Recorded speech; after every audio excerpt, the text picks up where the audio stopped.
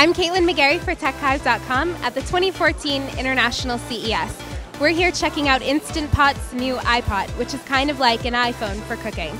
Instant Pot is best known for its kitchen gadgets like rice cookers, pressure cookers, and other appliances, but this new iPot is a little bit more high tech.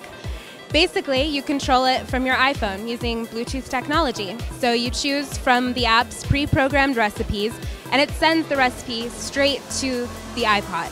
You can even write your own recipe straight from your phone. So anything from brown rice to short ribs, all from your phone. You can share recipes with friends, and the app even knows if you're in Denver, for instance, and you need to change the cooking time due to the altitude. The iPot isn't available just yet. It'll come out later this year, and it'll be around $220. That's it from the 2014 International CES. I'm Caitlin McGarry for TechHive.com.